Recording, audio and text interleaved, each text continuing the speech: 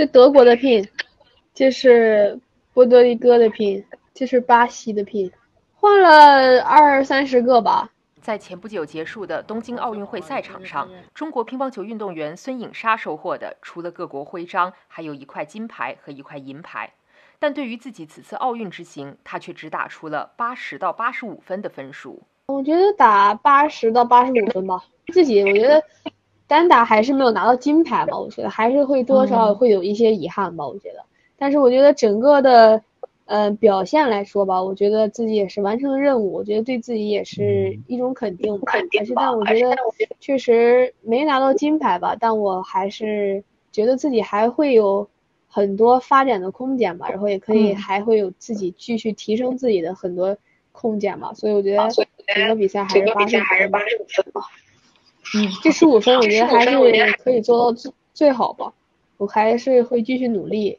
在奥运会赛场上，孙颖莎两次击败日本名将伊藤美诚，为中国队夺冠扫清了障碍。谈起这位对手，她说：“其实每次与伊藤交手，她都非常开心。我觉得她有很多优点值得我们去学习吧，包括我觉得她在场上的打法风格，包括她对她在比赛中的变化吧。我觉得其实他有很多优点值得我们去学习吧。而且我觉得其实不管我们俩每次打完输赢吧，我觉得。”还是总能看到对方的改变，包括进步吧。嗯，然后我希望其实有伊藤这样一个对手，我觉得其实也自己也一直在逼迫自己加快进步吧，然后也在不断提高自己。孙颖莎于二零一七年入选国家一队，迄今已经四年，如今又成为奥运冠军。目前正在按照防疫规定进行隔离的他，每天除了比赛总结、体能训练，还会学学英语，隔离生活过得非常充实。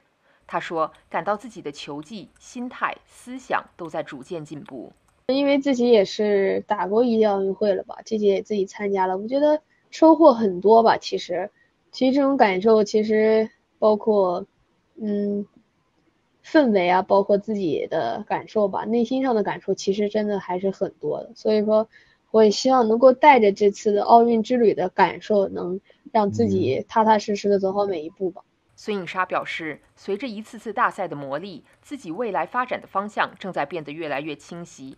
本届奥运会，她没有出战混双比赛，将来也愿意在混双搭配方面有新的尝试。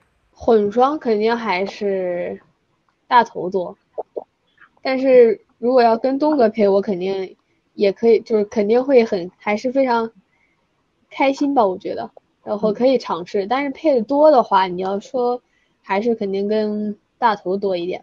接下来，孙颖莎还将迎来十一月份的世锦赛。她说，目标依然是拿金牌。我觉得自己还是，嗯，做好自己吧。我觉得还是全力以赴，嗯，每天的训练，然后及时去丰富自己吧。然后还是要希望自己能够综合实力越来越强吧。我觉得目标，我觉得还是一场场去拼吧。我觉得目标肯定肯定还是想拿。